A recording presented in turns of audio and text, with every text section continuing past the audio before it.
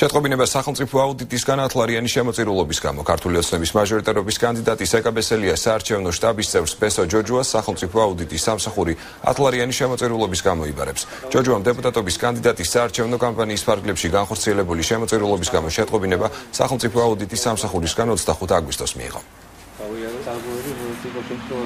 გადავიხეთ 10 ლარი იმისათვის რომ ფოთის მოსახლეობას გაეგო შეხვედრის დრო და თარიღი. სახელმწიფო აუდიტის სამსახურიდან გუშინ მოვიდა წერილი და მაქვს შეტყობინება იმის რომ და გამოცხადე და დავიკითხო მოწმის სტატუსით რაც უნდა განახორციელა აუცილებლად და რაზეც დავთანხმდი